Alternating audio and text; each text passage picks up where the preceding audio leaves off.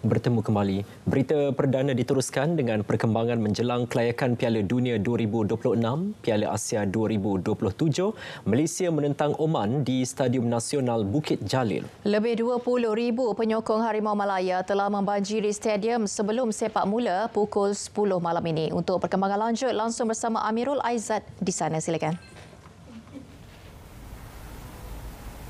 Baik, terima kasih. Betul tumpuan akan diberikan sepenuhnya dalam beberapa jam saja lagi bagi menyaksikan misi balas dendam dari skuad Harimau Malaya berikutan kekalahan mereka di Muscat 2-0 pada Jumaat lalu. Peminat bola sepak negara malam ini pastinya mengharapkan skuad hitam kuning menerima suntikan semangat untuk menampilkan aksi cemerlang apabila bermain di gelanggang sendiri.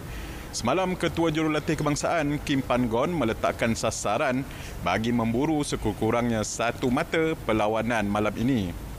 Namun pastinya sasaran pasukan mahu meraih tiga mata penuh di gelanggang keramat ini. Manakala pasukan Oman juga terlihat sudah pun melakukan persiapan rapi bagi meneruskan rentak kemenangan mereka untuk dibawa pulang Pengendali pasukan di ranking ke-80 itu, Joe Rasle Silhavi, semalam memaklumkan pasukannya telah bersedia dari segala aspek seperti cuaca, penonton dan apa juga keadaan untuk mengekalkan tiga mata mereka. Setiap pasukan telah menetapkan misi tersendiri mereka dan malam ini adalah saat penentuan untuk melihat pasukan mana mampu menggegarkan stadium selepas wisil penamat dibunyikan nanti.